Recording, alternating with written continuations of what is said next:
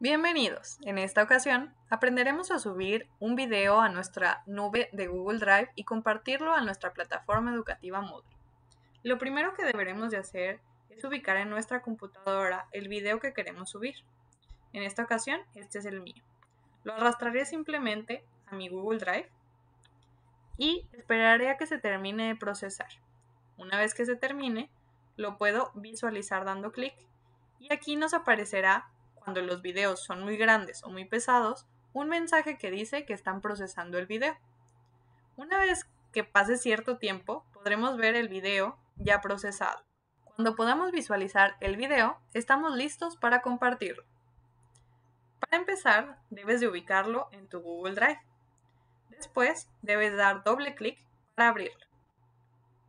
Una vez abierto, debemos de dar clic los tres puntos que se encuentran en la esquina superior derecha y a la segunda opción que se llama compartir. Aparecerán dos recuadros. El segundo me dice obtener enlace. Normalmente cuando subimos un video a nuestro correo institucional, la configuración por default es que las personas de la Universidad Iberoamericana Torreón podrán ver este recurso. Habrá que cambiar esta configuración para asegurarnos que todos los usuarios con los que compartimos el video lo puedan visualizar. Entonces deberemos de dar clic a la opción cambiar. Aquí puedo yo cambiar quién quiero que vea el video o el recurso. Doy clic a esta opción y doy clic a la última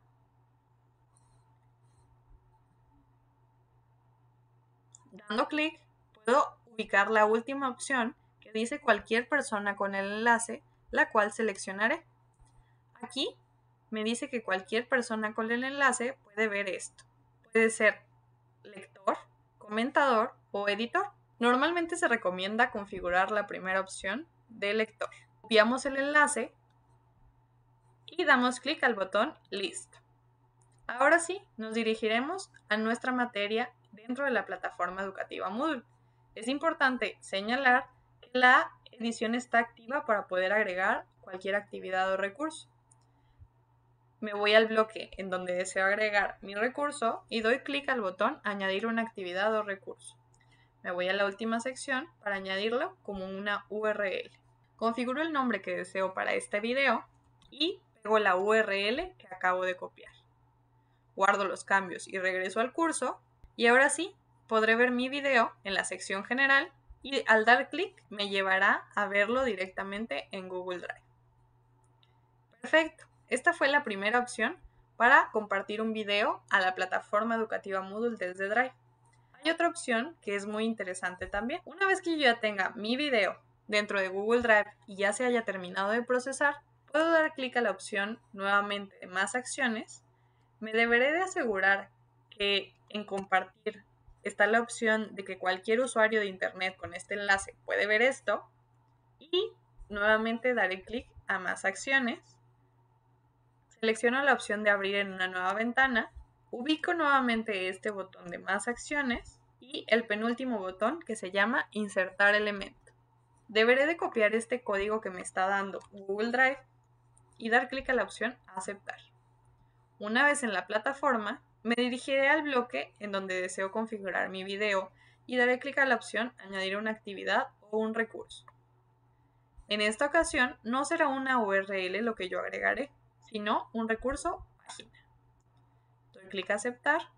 Configuro el nombre que deseo que tenga mi video, alguna descripción para los alumnos y en el contenido de la página deberé de encontrar este botón que se llama editar código fuente.